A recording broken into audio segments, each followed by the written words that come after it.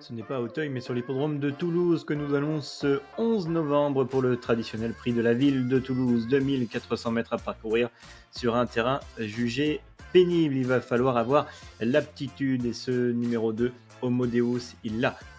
Regardez-le gagner son quintet, c'était le 29 octobre dernier. Il a gagné de bout en bout. Alors, il avait été pris bien plus haut suite à sa victoire de Liston déjà sur l'hippodrome de Toulouse. Il adore les pistes pénibles. Il est redevenu, redevenu compétitif à la valeur qui est la sienne au niveau des handicaps.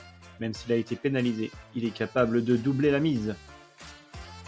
Le numéro 1, c'est Qatar River qui a été préservé en vue de cette épreuve. On va regarder sa dernière sortie lorsqu'il allait se placer notamment derrière le bon Agador. Paper Trophy était ce jour-là de la partie, c'est le gris qui prenait la cinquième place. Cater River est pris peut-être un petit peu haut en valeur, mais il aime les pistes assouplies, il aime également l'hippodrome de Toulouse. Attention à lui avec Michael Barzalona. Le numéro 7, c'est Lighted Glory. Elle adore les pistes pénibles. Je lui fais de nouveau confiance avec une valeur revue à la baisse.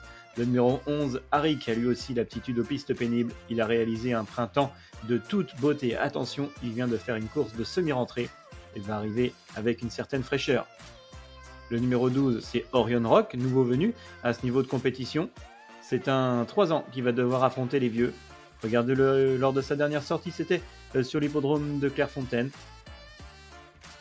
Il participait à son premier handicap ce jour-là. Il terminait à une bonne quatrième place et la casaque blanche avec des manches rouges.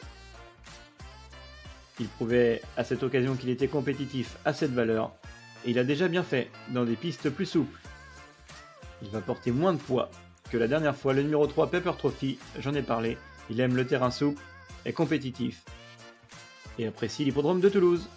Mon quintet donc en 6 chevaux, un montant bien sûr de 12 euros dans une formule combinée en 100%, le 2 l'As, le 7, le 11, le 12 et le 3.